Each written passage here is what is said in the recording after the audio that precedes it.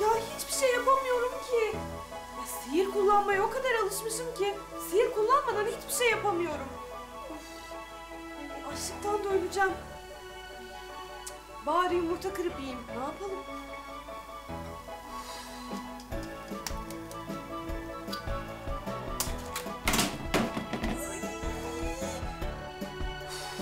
İnanmıyorum.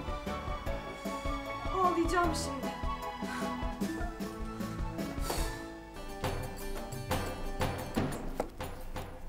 Bence sihir yapmadan duramaz.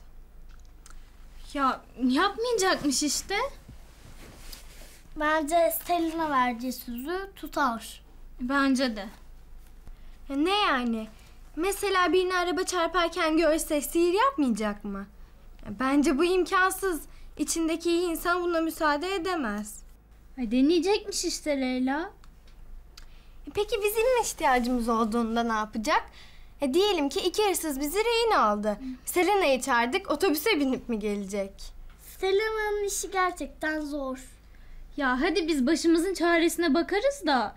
Yani açıkçası Selena'ya çalışırken düşünemiyorum. Sihir yapmasını istediğimden değil, bana biraz imkansız gibi geliyor. Ama olsun. Ya bence o bu işin üstesinden de gelecektir. Yani o Selena sonuçta.